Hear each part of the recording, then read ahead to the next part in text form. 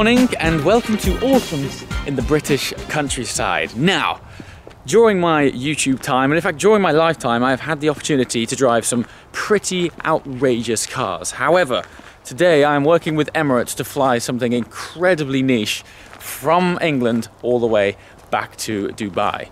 Behold the Chitty Chitty Bang Bang Rolls-Royce Phantom Drophead. For those of you who aren't familiar with Chitty Chitty Bang Bang, it was an eccentric British movie from the 60s that featured a vintage racing car which looked kind of like this, only it wasn't quite in the form of a two and a half ton Rolls Royce drophead. Um, these, these are the crew. Morning, guys. What's up, man? How you doing? Hello All good. again. You might r- remember Thad. um, he uh, joined us recently on the F1 tour that we did through um, Europe, and I'm going to be working with these guys for the next few days. Uh, tomorrow, we send this to Dubai. Uh, if you watch this channel regularly, you might remember that I work with this crew flying the Pagani Zonda from Dubai to Italy.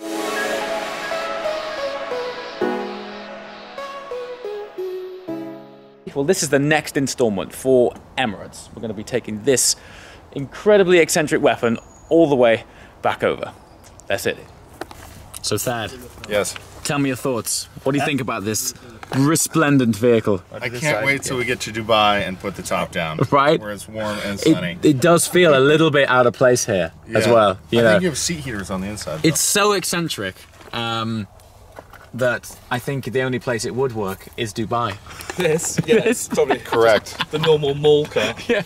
correct.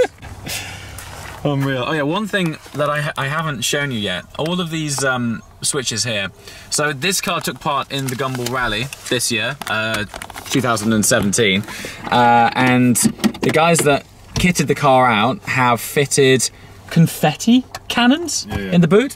So these switches here, as you do, ignite confetti cannons that fire out of the boot. Flares and balloons flying out the back of this car just because, you know, we're flying below the radar as it is. Uh, so I think we need to draw a little bit more attention to the fact that we're turning up in the most eccentric Rolls Royce I've ever seen. PA system. PA system. It is working. I say. I tell you how, what a resplendent morning. I'm gonna have so much fun with this.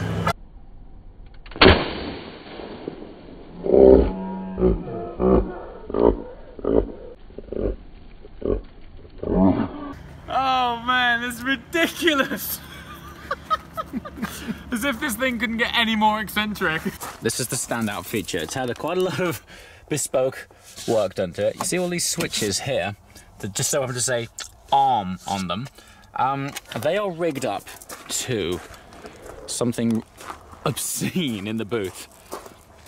Actual confetti cannons. They, these electric points here, they go in there. These are charged with confetti, and upon pressing those buttons, it literally fires confetti out of the boot.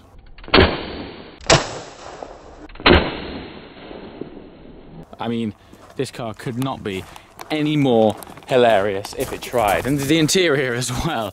I mean, the contrast of burgundy against wood, against cream. Absolutely crazy. I would have imagined on Gumball this year. It looks so cool.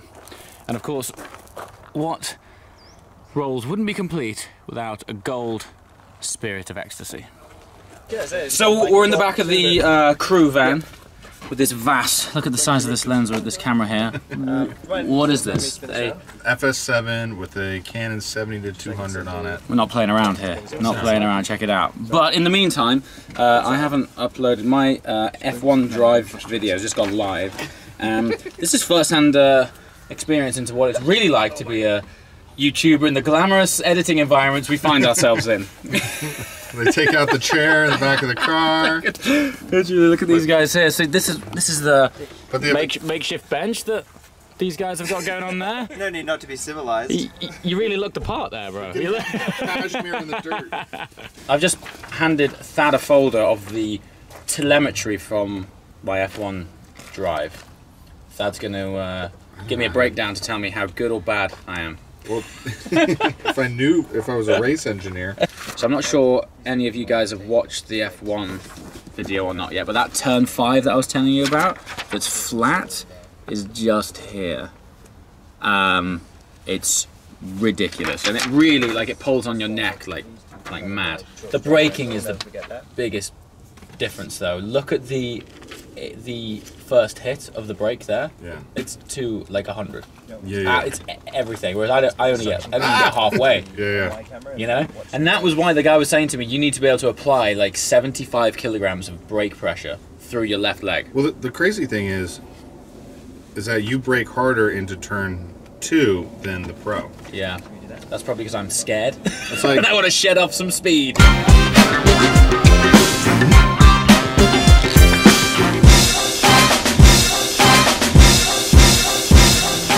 So we've got cars picking up the rolls. Um, cool thing about these guys is they go around the car, do a full inspection. They enter in every detail about interior, exterior, if there's any existing damage, things like that. And then they email the spec to you. They email any problems, the condition of the car. So you sign on the condition and then they send it to you off the iPad so you know exactly how that car left. So you can track its progress and also when it lands you can make sure that there's been no problems with it at all. Pretty cool service.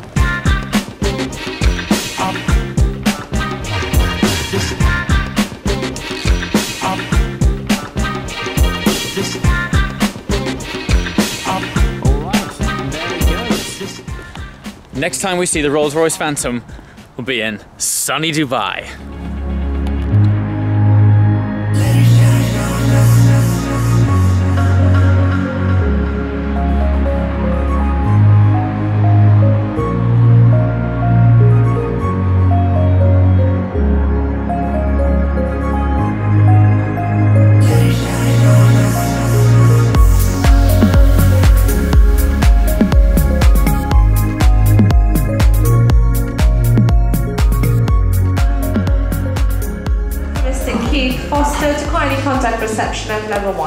One. Thank you. Keith Foster, if you're listening, get your ass downstairs.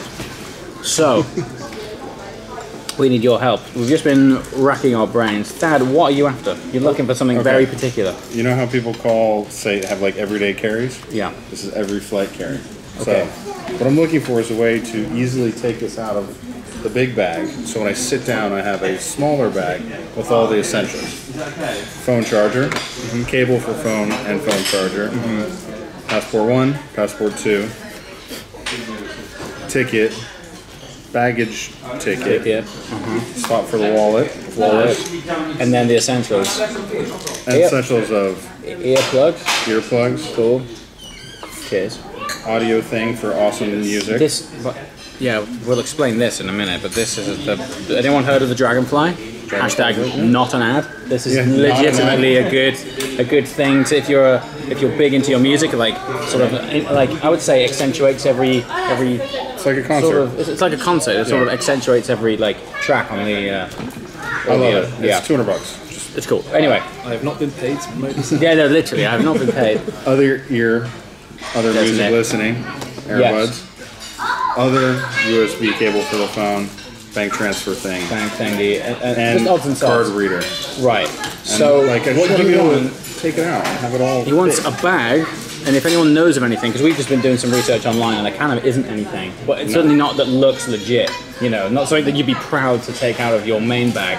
Yeah, I use a I use an eyeglasses case at the current moment. It's so Also known as a normal glasses case. Anyway, we can't find one, so if you guys know of any, uh, yeah, Someone make put a, a link below, and I'll send it over to, to Thad. and I will buy it and You'll buy it. and then gift. Hello. How you doing? See you later. Right across and right, please. Thank you. See you in a minute. Goodie bag. Nice bit of a, like a leather strip on here. But essentially, when you sit down on these long haul flights, they give you all sorts of stuff. Shaving foam, Bulgari, deodorant. That's got to be a toothbrush kit, comb, actual razor shaver. more Bulgari. All of that came out of this little bag that they just gave me. Thank you very much, Emirates. It's going to make the rest of this flight pleasant indeed. Six hours, ten minutes flight. Gonna try and get some editing done, and I'll probably give you a little tour of what goes down in business class in Emirates. While I'm here, let me show you around this. This is cool. So much storage space. I mean, I'm not sure if this is giving it any context, but this is uh, this is really really handy for putting all of your stuff once you've decanted it from your bag. Uh, this whole chair as well folds down.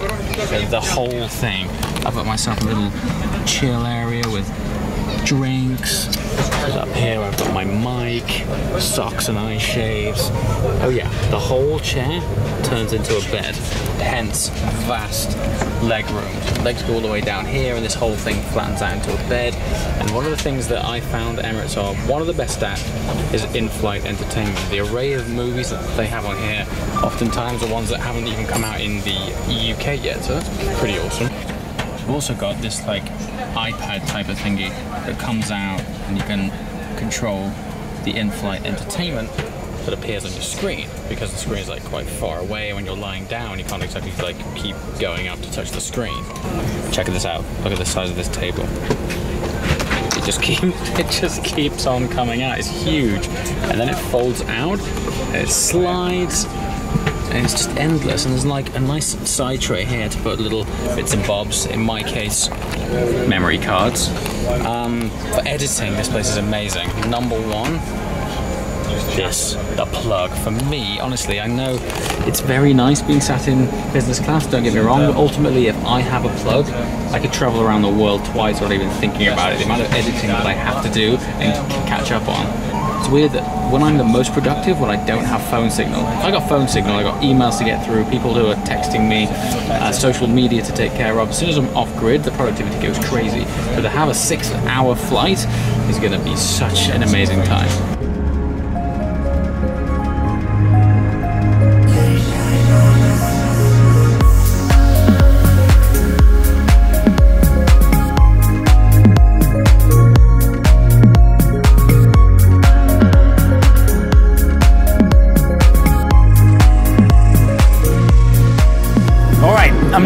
My way to Dubai. This experience has been awesome. A few hours ago, I handed the keys of the car to Emirates.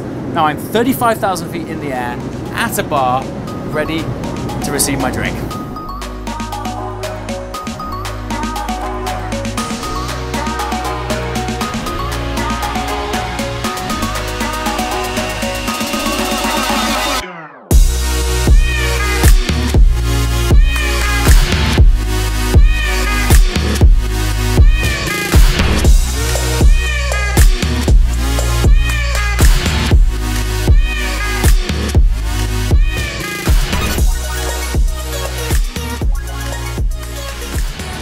We have arrived. Welcome to Dubai. I'm going to take this opportunity to sign off. It has been a long, long day. We've traveled from England with the Rolls Royce, which will be joining us soon.